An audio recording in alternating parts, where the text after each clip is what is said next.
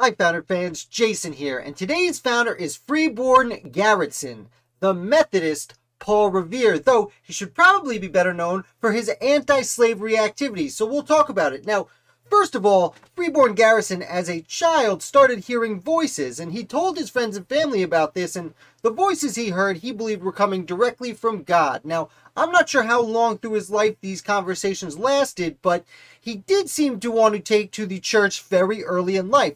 Unfortunately, uh, his family had many problems. He had his mother died, and shortly thereafter, a sibling died, and had a lot of loss early in life, which seems to slow down his desire to become part of the church. However, he ends up running into and being taught by Francis Asbury, who himself was one of the most important Methodist preachers of the time. And when I say of the time, I mean in the years leading up to the Revolutionary War. Now, I'm not going to get in too deep on Methodism, but at this point, Methodism was one of the fastest growing religions in the United States, and people were being converted quickly. Freeborn Garrettson became one of these people. and In his early 20s, he, studied, he studies under Asbury and himself becomes an itinerant preacher. And to remind you, an itinerant preacher basically means a traveling preacher. He would move around, usually on foot or on horseback, uh, from town to town, giving sermons. He did this for several years and makes quite a name for himself. Now, Methodism in general at this point was known strongly for abolition, and Freeborn Garrettson was no different. Perhaps it had something to do with his amazing first name, uh, that he was very much against slavery. Now, he did grow up on a plantation, and when his father passed away, Freeborn actually inherits a gigantic plantation and a good number of slaves. But because of his morals and his spirituality, and again, probably that first name, he ends up liberating all the people under his bondage almost immediately. Furthermore, he ends up traveling around the mid Atlantic, mostly Maryland and Delaware, on his travels, talking about anti slavery, and even, even publishes a pamphlet against slavery. Now, he is able to help convince dozens of plantation owners and, and of large and small amounts of slaves under their uh, ownership he convinces dozens of people to liberate their slaves from bondage. By the end of his life, he helps get hundreds of slaves liberated uh, based on the moral Christian arguments that he's presenting to his neighbors and the people living in this revolutionary country.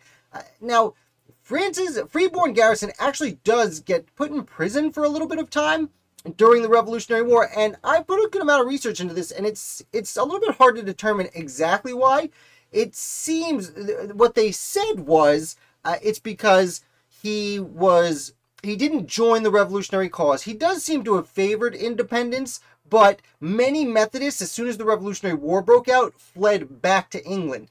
Freeborn Garrettson, being an American born citizen, uh, didn't. He stayed around to continue preaching, and he never really signed any loyalty oaths or anything of that nature. So his his loyalties were questioned.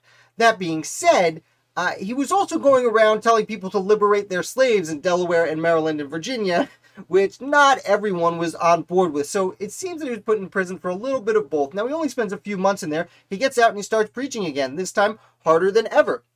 As I said, even though he's known as the Methodist Paul Revere, which he gets that nickname because he traveled so frequently and so far, all the time traveling that this name this name was not something he had in his time. Paul revere wasn't that famous at the time. This is a name that's been given to him uh, uh, posthumously it seems. Uh, but he still made uh, great strides not only in expanding methodism in the young united states and being a leader as the church grew but as i was saying he was able to help uh, just so many people get liberated and, and really help push the idea of abolition uh, in its early days. Now, other people were talking about manumission at this time. This is the peak of the Enlightenment, but he really becomes one of the leaders in that movement.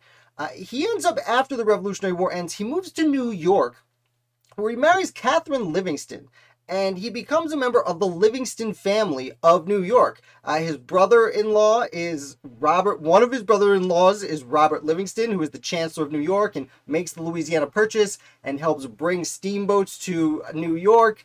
Uh, another one is uh, Morgan Lewis, who goes on to be governor of New York. Another one is Edward Livingston, who ends up writing the Livingston Code, really progressive law reform. We've talked about him recently Uh, so he marries into the Livingston family of New York. And from there, he doesn't travel, he doesn't seem to travel quite so much. He's quickly, not quickly, I should say slowly, he travels less and less and less through the remainder of his life. But his house in Rhinebeck, New York becomes a really important stopping place for all the next generation of itinerant preachers. Because, again, they're on the move. They got to find places to stay. And his was always a welcoming house in New York, which was right in the middle of the eastern states. I know that at this point, as time goes on, there are more states joining the Union uh, a little bit further west, but the eastern states, the more populated states, he's right in the middle. So it's a really convenient stopping ground, and he always treats these people warmly in an effort to help uh, uh, spread the word of their faith. So that is a brief overview of the life of Freeborn Garrettson, a really interesting figure in the American founding period. I hope you enjoyed this video. If you did, definitely hit like.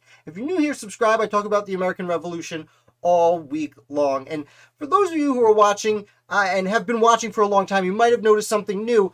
I am now putting out videos like this the same time I am releasing the articles about the same person. I used to write the articles about a person and put out the video a week later. I'm now doing it all on the same day. Don't worry, I'm still releasing my interviews and other long form content at 8.15 at night. And we're also doing our weekend review Thursdays at 8 Eastern Standard Time and trivia on Fridays. So nothing's really going to change. It's just these videos, instead of being clips, are now more higher grade content. Usually, I don't promote myself so much at the end like I'm doing now, but I did it because I wanted you guys to know what is up with Founder of the Day. Thank you again for watching, and I will be back with another Founder for you tomorrow.